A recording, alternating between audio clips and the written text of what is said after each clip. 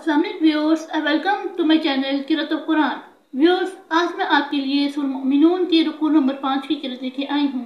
Viewers سور المؤمنون کے رکو نمبر پانچ میں آیت نمبر اٹھٹا سے لے کے آیت نمبر پانچ تک آیات ہے۔ اس سے پہلے ویورز، میں آپ سے کہنا چاہوں گی کہ میری ویڈیو کو آخر تک ضرور دیکھیں۔ اگر آپ کو پسند آئے تو اس کو لائک کر لیں، اس کو دوسرے کے ساتھ شیئر کر لیں اور سبسکرائب کر لیں اور ساتھ میں لگے بیل کے آئیکن کو کلک کر لیں۔ تاکہ آنے والے وقتوں میں آپ کو میری آواز، میری غلط کا نوٹیفیکیشن سب سے پہلے ملتا رہے۔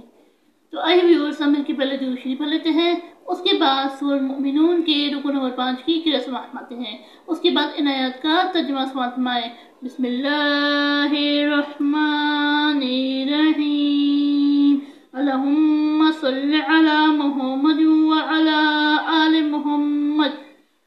صليت على إبراهيم وعلى آل إبراهيم إنك حميد مجيد.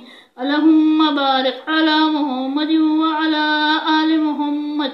كما باركت على إبراهيم وعلى آل إبراهيم إنك حميد مجيد. أعوذ بالله من الشيطان الرجيم. بسم الله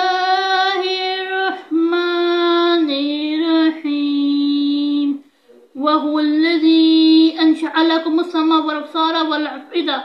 قليل ما تشكرون. وهو الذي ذرأكم في الأرض وإليه تؤشرون وهو الذي يحيي ويميت وله اختلاف الليل والنهار.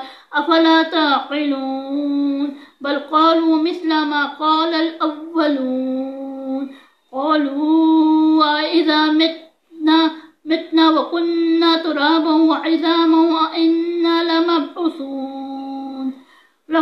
عدنا نحن وأباؤنا هذا من قبل إن هذا إلا أساطير الأولين. قل لمن الأرض ومن فيها إن كنتم تعلمون.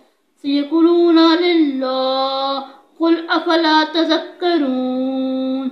قل من رب السماوات السبع ورب العرش العظيم. سيقولون لله قل أفلا تتقون؟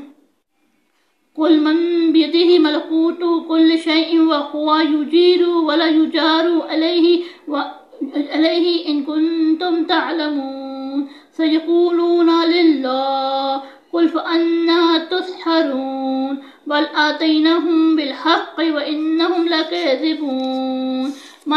اتخذ الله من ولد وما كان معه من إله إذا لذهب كل إله بما خلق ولعل بعضهم على بعض سبحان الله أما يصفون عالم عالم الغيب وشهادة وتعالى أما يشركون صدق اللہ العظیم شروع اللہ کے نام سے جو بڑا مہربان، نہایت رحم والا ہے اور وہی تو ہے جس نے تمہارے کان اور آنکھیں اور دل بنائے، لیکن تم کم شکر گزاری کرتے ہو۔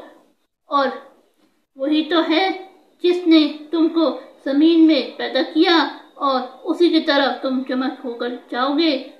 اور وہی تو ہے جو زندگی بخشتا اور موت دیتا ہے، اور رات اور دن کا بدلتے رہنا اسی کا تصرف ہے۔